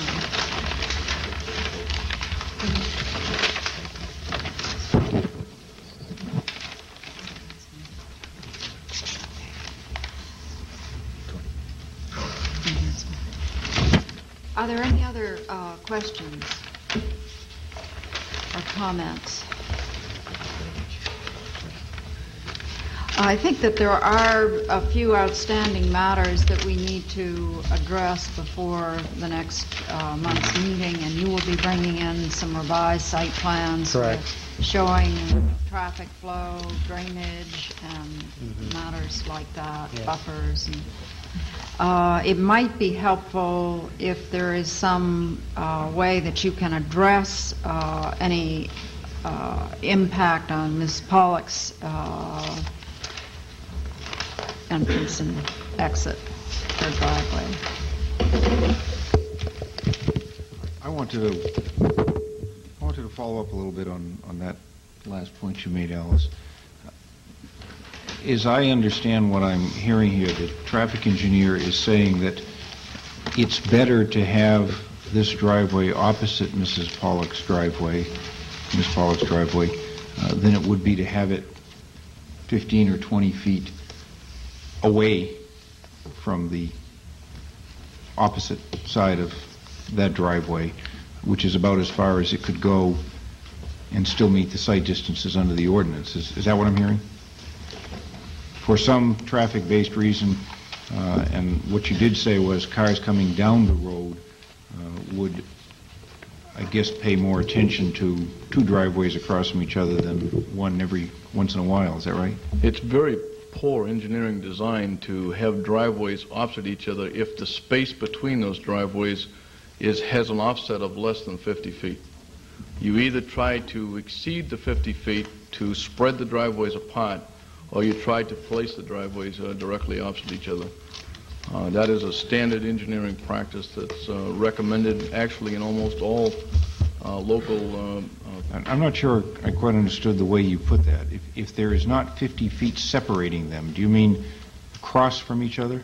If you have a driveway on this side of the street and one on that side of the Right. street, if the distance between those two driveways is less than 50 feet along the horizontal line of the roadway, then uh, you would put the driveways opposite each other for good design. If it is in excess of 50 feet, then yes, it would be okay to leave those two driveways uh, not directly opposite each other. The 50 feet that you're talking about is basically the width of the road. No, I'm, I'm drawing the 50 feet along the horizontal of the road, not the vertical or the, the width of the road. I'm drawing the horizontal length of the road. From one driveway down to the other 50 feet. That's right. Down along the road. The distance between the center lines of the driveway, right? That's correct. I apologize. I, I thought I was explaining, but I guess I wasn't. Oh, Madam Chairman, Yes, while, while Mr. Mr. Bray is there, uh, could we ask you to do a calculation uh, based on 11 accidents that will arrive at the figure that you have, not the figure that you have, but the one that is equivalent to the .85. I don't, I don't Analyzing have the- whether I- they I don't have the technical term for what that figure is. Okay, you want to have the critical rate factor Yes. recalculated? Yes. Yes. Thank you. And perhaps tell us when those accidents did occur, or did you know that information? Okay, I haven't been, the only information I had was that the number had changed, and I wasn't... It would be, uh, it might be important to know when those did occur, and Yes, whether they were related, whether any change in a signalization would uh, improve or help. Since we can't have a 50-foot distance here and still be within the the sight distances that we need, uh, I'm not sure I understand why you made the statement that it would not be a good engineering practice to have the two driveways not opposite each other if you don't have the 50 feet. Why is that? I would think that anything would be better than nothing. Well, again, first of all, you have to keep in mind that the location of the driveway for the proposed site is, at least in my opinion, at the very best site, or the very best location along the entire property limits. From a sight distance standpoint? From a sight distance standpoint. It's at the very top of the, the vertical crest that occurs along Spurwink Avenue. As you go either side of that crest, you're going to lose some of that sight line. There is a cushion, if you will, of approximately 35 feet, one side or the other of the driveway that you can go and still maintain adequate vehicle sight lines. Beyond that, you lose those vehicle sight lines. In all honesty, you know, if you moved the driveway 10 feet, I, I wouldn't have a bit of problems with it. If you moved it 15, I wouldn't have a problem with it. If you start creeping closer to that 35-foot range, which, in all honesty, I don't see how it would be any improvement, but if you did move it 35 feet, then it's, it, all I can inform the board is very poor uh, transportation uh, and land use planning to construct driveways along a roadway in such a manner. My, my question is, why? If you assume that you still have an adequate sight distance, I'm just trying to understand why, because it would seem to me that 35 feet isn't as good as 50 feet, but it's better than right across from each other. And you're obviously saying that's not true, and I don't understand why. Well, the, the main reason for it is you try to provide the driver that passes along the street known locations that where he will encounter interruptions to his travel along that roadway.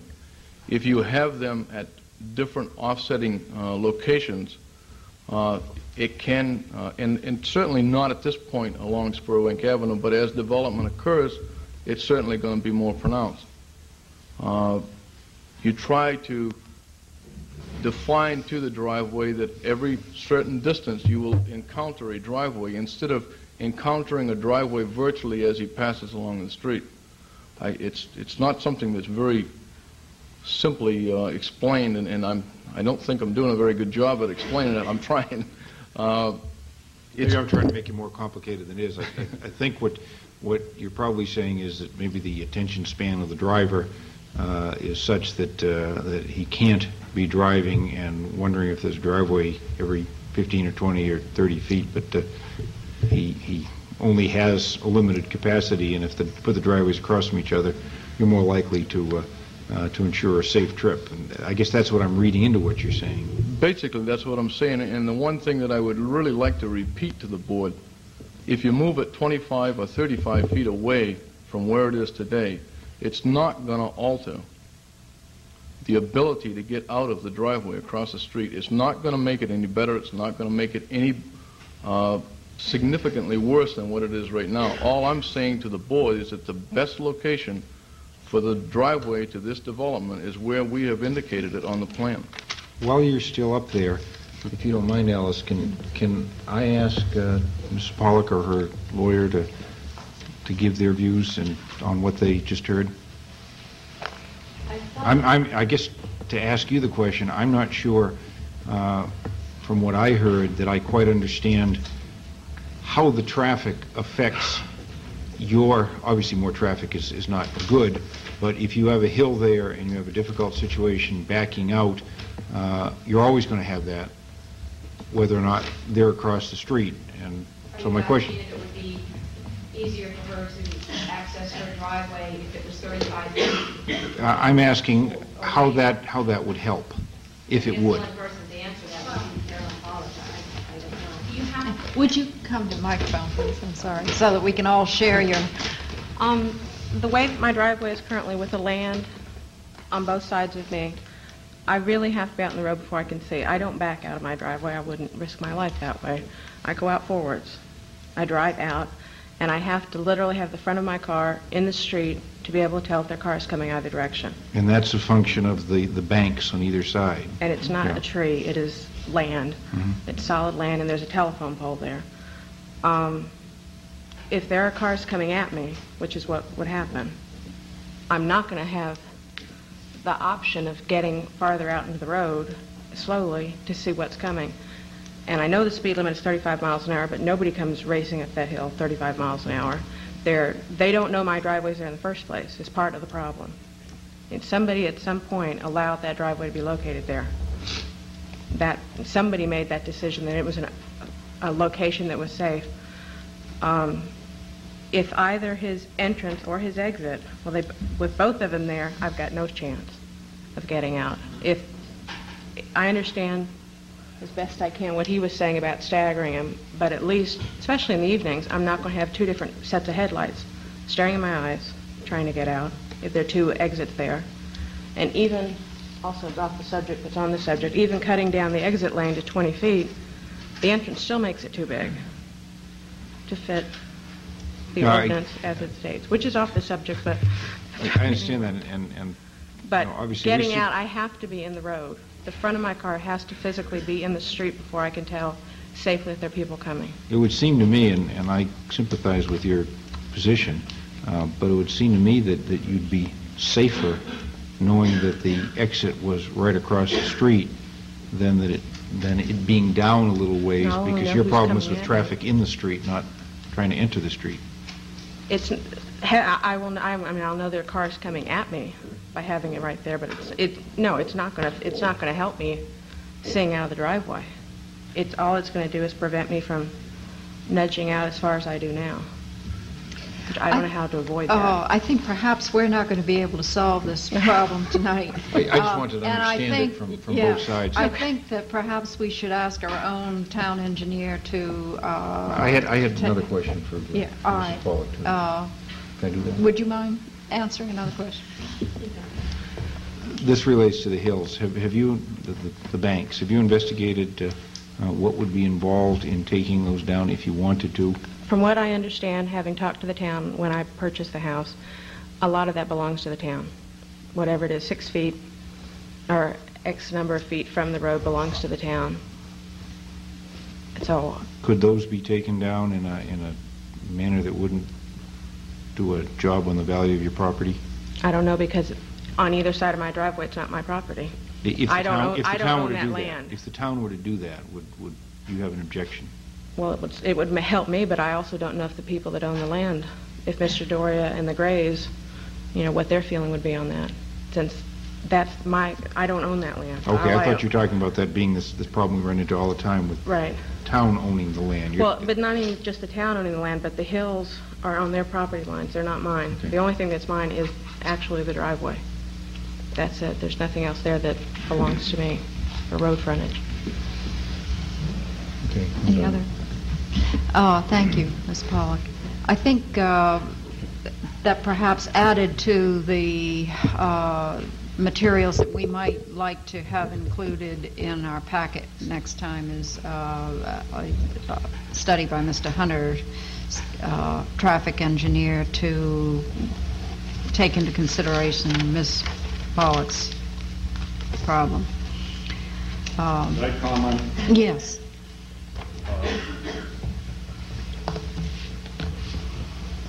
Because the first time I met Mrs. Pollock, I guess, was when she was here, the zoning board. And uh, we tried to discuss matters with her. And uh, I found out as neighbors, we had to talk through two lawyers to do it. So that made it very difficult to uh, mutually try to work out anything.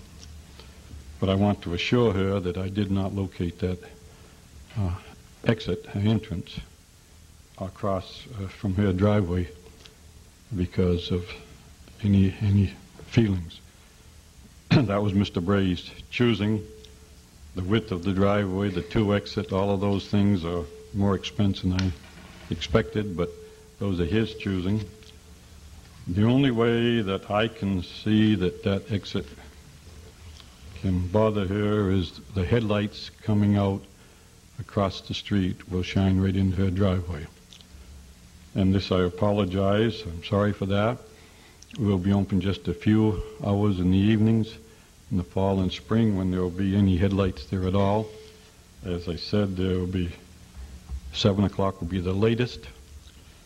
Uh, her house, uh, she's fortunate. I admire her for it. Her house is set back from the road. Most people don't do that. Uh, I don't think she'll be able to even see the market or anything from her house, as she has expressed. Her problem is leaving her driveway. And I'm not sure whether she has got merely a 20-foot frontage or what. I haven't measured the property or whatever it is, but it, to me, her problem is cars coming from the south. Uh, she has a steep bank into the north, but she'll be turning with the traffic. She's going to see the traffic coming from the south that is on her side of the street that are the ones that are going to sneak up on her and hit her. I know she's in good relations with the Grays, and I do not know how much of the property is hers or theirs, but there's shrubbery there and these type of things that could easily be removed. And I'd say, God bless her, I'd move it in a minute if I thought we could be friends. I've got bulldozers and backhoes, and the town let her put a street in there or somebody, and I think the town will let her move with some of those trees to uh, improve her visibility. That's not going to make the market any better to her palate at all whatsoever, but I wouldn't want to have her driveway. Not at all. And I would raise some cane around town or something if I couldn't fix that. And I make that offer to her. I'd like to be talk to her as, as a neighbor. I don't have anything against a lawyer, but uh, I'd like to talk to her. And I am not going to move that entrance in front of someone else just for the sake of picking which neighbor is going to get bugged. You see what I mean? So I, I make that pledge to you and to her. Now, how much more you're going to want me to do to meet her needs, I'm not sure. But I'll say that much. Fine. Thank you very much, Mr. Maxwell, for your kind offers and help. Uh, I think that we uh, perhaps have heard about as much as uh, we can take absorb this evening, and uh, so we will look forward to a uh, packet coming in on the 30th of December from Mr. Maxwell and his representatives. And if the um, abutters also have anything that they want to submit, the deadline is the 30th of December. And we'll thank you all for your great interest, and uh, we will go on to our next item agenda.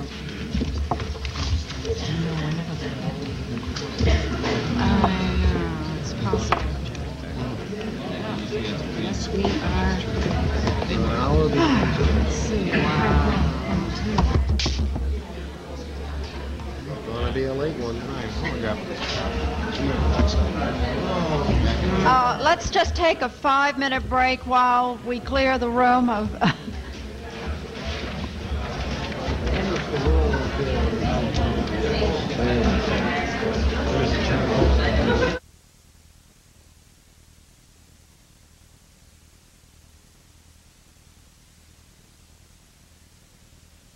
And uh, as you can see, we're doing our usual number of running behind.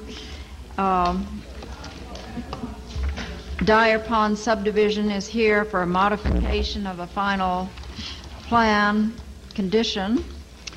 And uh, I guess there have been some changes that the planning board needs to be updated on, and if you could apprise okay. us of that, that would be helpful. To try and move along, I'll, I'll make my remarks as brief as possible, and if the board needs amplification, um, I'm sure they can ask the questions that they need. Um, one of the conditions of the final plan approval of this subdivision, which was made at the last meeting, was that all improvements um, be complete by October 14, 1990, and if they are not complete, that the subdivision approval be rendered null and void. We are requesting that the board reconsider this, cons- this constraint and phrase it slightly differently and setting the date for completion as that same October 14, 1990, um, but doing so by setting that as the expiration time for the financial guarantee. And this is our, discussed in our letter of November 21. Uh, it is commented upon by uh, Mr. Leahy in his letter of December 7, 1988, to Walter E. Weber, who I believe, of which I believe you received a copy. Um, other issues this evening. One of the other conditions on the approval was that prior to construction, we revisit with the board on the issues of certain details of language in the covenants and the pedestrian easements. Uh, the town staff and attorney have suggested several changes and modifications to the covenants. Uh, we have agreed with them, and those will be incorporated. Uh, with regard to the conservation easement, um, several small changes were um, were suggested there, and those have also been incorporated. With regard to the pedestrian easement, which covers the portion of the Dyer Pond Road right-of-way which will not be improved at this time, um, there are some details to work out. It simply comes down to uh, we need some further guidance from uh, the town council, the town attorney, and town planner as to what the appropriate approach is here in terms of will the town be taking a gift of that entire 50-foot strip over its full length from the developer upon completion of the road, or will the town only be taking a gift of the improved portion of that? And that affects the details of the language of the easement. And then there are two small issues. One is, uh, you will recall that in the northwest corner, uh, pardon me, northeast corner of the site, there is a narrow strip of land adjacent to uh, the small green Cape Cod house lot uh, that fronts on Shore Road and is an outtake from the parcel. And um, we would like the board to approve um, a conveyance of that parcel to that abutter if, and it's, we haven't opened negotiations with the abutter. However, uh, the terms of the approval are such that we could not do that without the planning board's approval. Basically, they're trying to sell that house, and it would be helpful for them to have that additional strip of land made available to them. And finally, uh, one of Mr. Hunter's letters suggests that the geometry of a drainage easement required in the vicinity of Station 8 plus 70 of the roadway construction be defined upon the plan, and we have done that. So that's kind of a grab bag of little issues. And if anybody has uh, a question, I'd be happy to answer it. Uh, I guess perhaps we could just start with the first item that you mentioned, which was included in the, the minutes of the last meeting, and uh, and that was uh, had to do with a condition in which uh, the uh, work should be completed within two years, or the subdivision would be considered null and void. Um, and we have had correspondence from Tom Leahy uh, advising the planning board that the uh, there is surety or there is uh, uh a guarantee, so to speak, to the town uh, in its letter of credit that protects the town so that if this is uh, not completed, then they may collect on that. So I, I'm open, are there any members of the planning board that uh, would like to comment on that? Mrs. Yeah. Guthrie. Madam Chairman, since um, I was the perpetrator of this foul deed, I, I guess I should say something about it. I certainly, when I perpetrated it, didn't mean to create any undue uh, hardship. I can understand about the, the banks, but I wasn't concerned about the banks. I um, have been concerned since the beginning about flooding to Shore Road primarily, which we need very desperately, and flooding to Dyer Pond Road, which, if built, will be a very long dead-end street, and I don't want to see that three feet underwater. And um, I, what I really attempted to do by um, placing this condition was to maybe create some sort of a protective covenant so that this particular um, development, which I have been repeatedly concerned about, quietly hysterical about, could perhaps come to a review that was stricter at a later date with new ordinances. And I think uh, in that review, my biggest concern would be basing all drainage calculations on the 100-year flood. And all the current uh, calculations are based on the 25-year flood. So I don't mean to rehash all of this, but I, I, I just wish that we could find a compromise and have, um, so that this doesn't go on and on and on for years, um, so that the town would get another shot at it. That's what I, I Well- have been looking for. And um, your proposal to to create an expiration date on uh, October 14th, 1990 of your letter of credit, I mean, people come back and ask for extensions on these. Um, you know, I'm just very concerned about it. And uh, as a matter of fact, uh, we received this Maine Planning and Land Use Laws from 1988, and I was perusing them. We just got them last week. I was perusing on page 24, and it says under N, I don't know what section it is, but believe me, the subdivider will determine, based on the federal emergency management agency's flood boundary and floodway maps and flood insurance rate maps, whether the subdivision is in a flood-prone area. This particular subdivision, as far as I can see it, is on the floodway map. It's a Zone B. It's the flood, floodway map dated June 19th, 1987.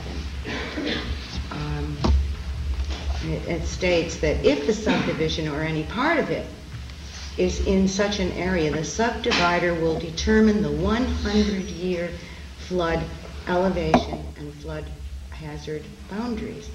Now, uh, the DEP has granted you an approval based on 25-year flood um, surveys done by reputable engineers. Wouldn't this particular law indicate that all of those studies should have been based on the 100-year flood? Well, I'm not familiar with the, with the particular section that you're dealing with, but I think that the permit has to stand on its own.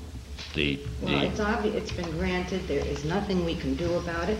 We have a final plan granted, and I am certainly am no expert on Maine state law, but this is a source of concern to me because you, we are developing in a flood plain, and there is a state law right here that seems to indicate that the subdivider has to determine the 100-year flood elevation.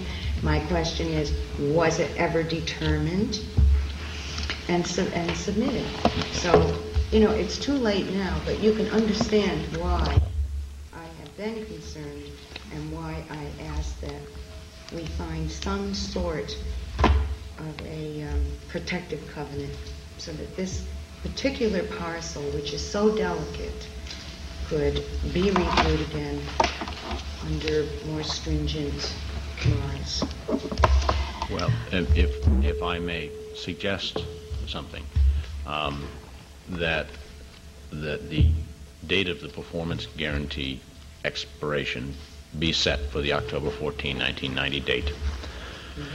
And that uh, the motion doing so um, make any um, extension of that completion date conditioned upon the developers submitting 100-year flood data at that time. Would that be acceptable to you, Mrs. Guthrie? It certainly would solve the whole problem. Uh, we have to look to the future, and I, I think uh, that would seem to me also to uh, take care of that particular problem.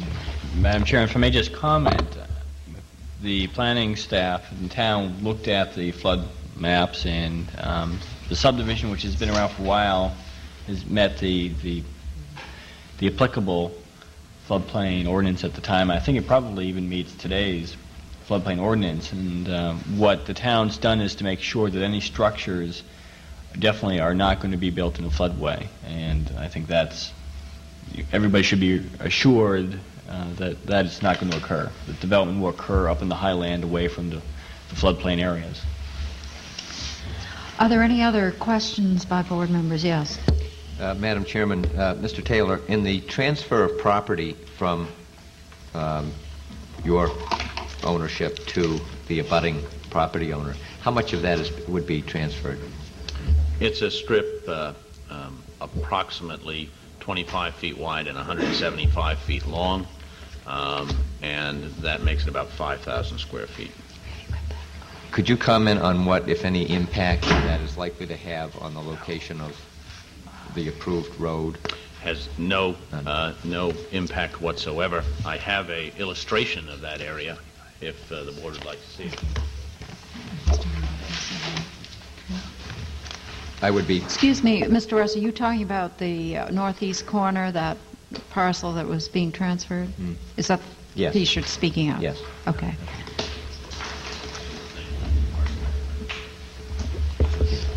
Site distance would not be affected by that.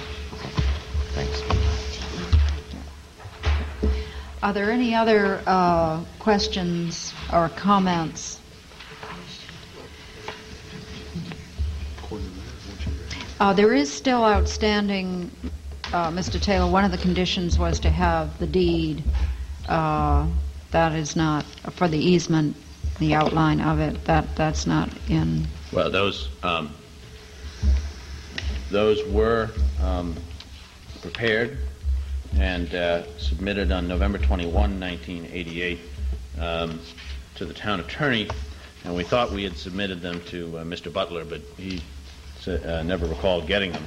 Uh, so we recently submitted uh, copies um, of those same items from November 21.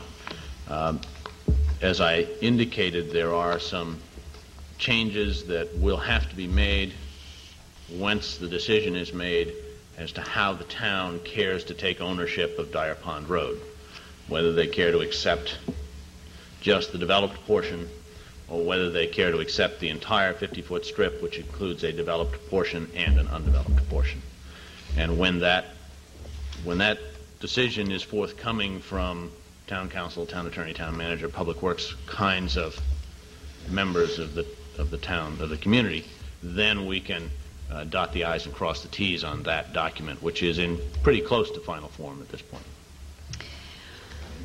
Uh, Just to elaborate a little further on uh, page nine of the Declaration of Covenants, there is an additional sentence. I'm, uh, did you, That's one of the uh, one of the changes that I think changes that is fairly important for the uh, planning board to be aware of, Uh, and that change uh, consists of adding a sentence which will be labeled G. That's correct. And do you have the wording for that, Mr. I do. It says, um, Section, Article 4 of the Declaration deals with the rights that we as the declarant, the developer, reserve to ourselves. Okay, and it, and what we are trying to do here is indicate that while we reserve these rights to ourselves, we still have to comply with all the municipal requirements that might bear on any of those rights. And we are doing that by adding another subparagraph or sentence, G, prior written approval of the Cape Elizabeth Planning Board must be obtained for the exercise of the rights reserved in paragraphs A and E above. And then A was changed, you, uh, I believe, the last sentence of that was changed, uh, We are striking in paragraph A the words "recording of an amendment to this declaration and slash or." So that the The sentence sentence will now read, "The change or changes shall be effective upon the filing of a modified site plan indicating the changes made." thank you. That's on page nine of your declaration. Um,